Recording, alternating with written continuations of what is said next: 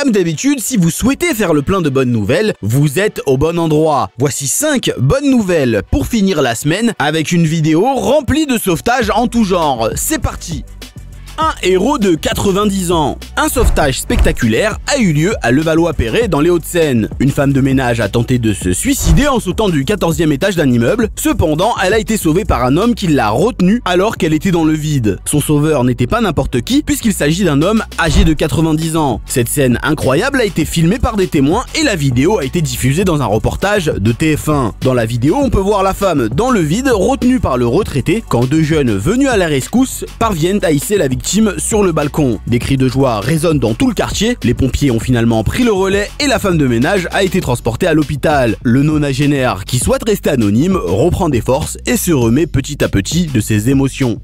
Des pompiers sauvent un enfant de 4 ans tombé dans un puits. Aubin est un petit garçon âgé de 4 ans qui vit à Rosac des Mettes en Dordogne. Alors qu'il jouait dans son jardin, il marchait sur un puits quand ce dernier s'est effondré sous ses pieds, pour une raison inconnue. L'enfant est tombé dans le puits d'une profondeur de 8 à 9 mètres et est resté bloqué. Immédiatement, les parents du petit garçon ont appelé les sapeurs-pompiers. Très inquiets, les secours se sont rapidement rendus sur place pour aider Aubin. Après avoir donné quelques consignes au petit garçon, les pompiers lui ont demandé de faire preuve de patience et de courage pendant 5 minutes. Au total, l'intervention a duré 25 minutes pour faire sortir l'enfant du puits. Par chance, Aubin n'a pas été blessé lors de sa chute et aujourd'hui sain et sauf. Il a tout de même été transporté à l'hôpital pour effectuer des examens de contrôle. Indemne, il a pu rentrer chez lui le soir même. Aujourd'hui, le petit garçon affirme être la star de l'école. En pleine forme, il est allé à la caserne des pompiers pour les remercier et leur apporter des chocolats et un dessin. Voilà qui devrait faire plaisir à nos héros du jour.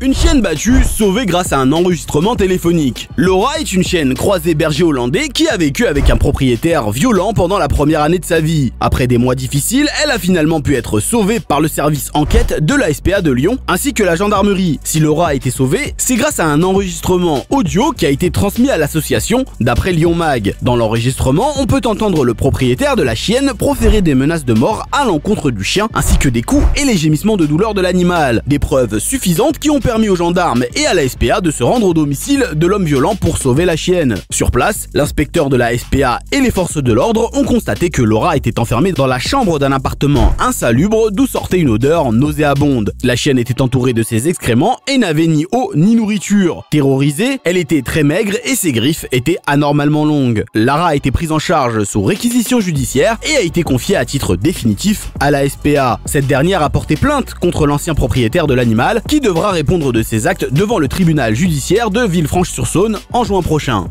Avertie par son chien, elle est une voisine qui allait accoucher dans l'escalier. Ça s'est passé à Vienne, en Isère, le 20 mars dernier. Ce jour-là, vers 7h45, une habitante de la commune a été interpellée par le comportement inhabituel de Booba, son chien American Bully. Dans un article de West France reprenant des informations du Dauphiné libéré, elle explique « Il n'arrêtait pas d'aboyer, il sautait sur le lit, ce n'était pas du tout dans son habitude, il ne fait jamais cela. » Surprise, elle a décidé de suivre son chien qui l'a conduite tout droit devant la porte de son logement. Elle a donc ouvert la porte et là, elle a entendu des cris venant de l'escalier. Une voisine enceinte était en train de commencer à accoucher. Elle avait appelé les pompiers, mais on ne les voyait pas arriver. Heureusement, la future maman a pu patienter sous la surveillance et le réconfort de sa voisine. Les pompiers sont arrivés peu de temps après et le bébé, une petite fille, est né dans le camion. Merci à Booba pour sa vigilance.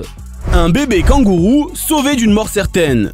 L'État du Queensland en Australie a été confronté à d'importantes inondations. La semaine dernière, l'Albert River a débordé de plus de 7 mètres de son niveau habituel, ce qui est un nouveau record. Les inondations ont principalement touché la ville de Burketown où de nombreuses maisons ont été inondées. Les habitants ont quant à eux été évacués par hélicoptère. Alors qu'une patrouille des forces de l'ordre du Queensland surveillait le territoire à bord d'un hélicoptère, des policiers ont repéré un petit kangourou dans les eaux. L'animal semblait pris au piège et se débattait tant bien que mal pour retourner sur le rivage policiers ont décidé de le sauver et la scène a été filmée et partagée sur le compte Twitter de la police du Queensland. Sur les images, on peut voir les pompiers se déplacer sur un canot pour atteindre le kangourou. L'un d'eux approche doucement la main de l'animal et le saisit pour le poser sur le bateau. Il le maintient pendant quelques secondes à bord de l'embarcation et finit par le relâcher sur la terre ferme. En faisant ce geste, les policiers ont sauvé le bébé kangourou d'une mort certaine car l'animal aurait pu être dévoré. En effet, ces os sont connus pour être infesté de crocodiles. Chez Positiver, pas de nouvelles, mauvaises nouvelles, alors on espère en avoir plein à vous raconter prochainement. N'hésitez pas à vous abonner et activer la cloche pour ne pas rater nos prochaines publications. Ciao